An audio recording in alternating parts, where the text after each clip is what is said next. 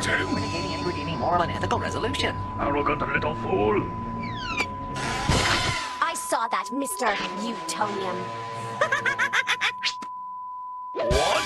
That brat is Professor Utonium?